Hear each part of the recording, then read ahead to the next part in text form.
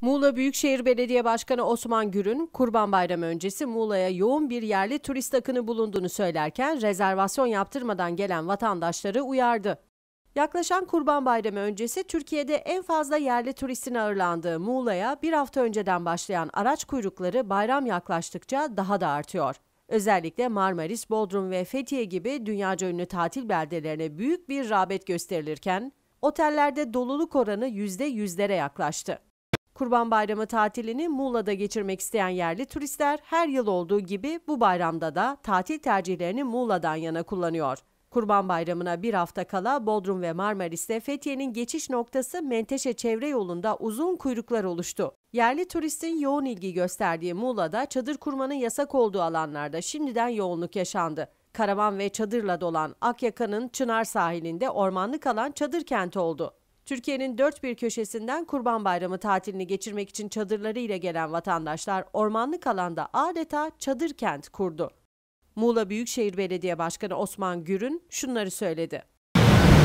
Kurban Bayramı pazartesiden itibaren resmen başlayacak ama e, bizim tespit ettiğimiz kadarıyla Muğla'mıza e, bugünlerde başlayan ve devam edeceği de görülen büyük bir akın var. E, yollarda trafik uzun kuyruklar oluşuyor.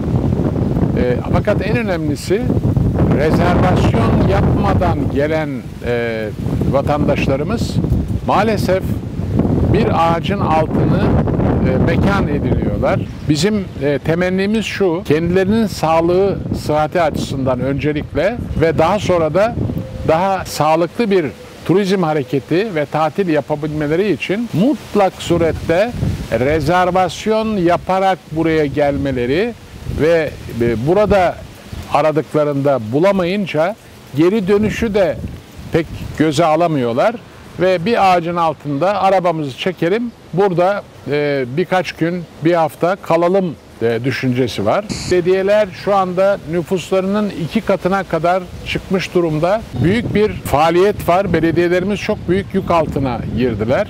E, üretilen çöpün miktarı açısından olağanüstü bir gayret sarf etmek durumunda kalıyorlar. Ve bu büyük bir sıkıntıya sebep oluyor. İlçe belediyeleri daha önce e, bir veya iki defa gittikleri alanlara 10 defa gittikleri oluyor. Oradaki artan çöpü toplayabilmeleri için.